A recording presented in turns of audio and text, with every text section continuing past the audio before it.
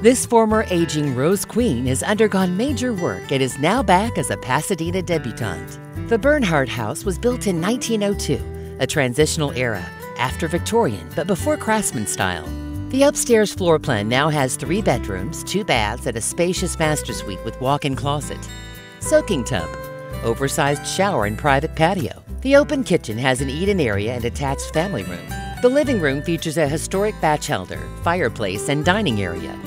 Across the lawn from the main house is a permitted ADU with a full kitchen, half bath, and three quarter bath. For a private tour, call Rosey Bell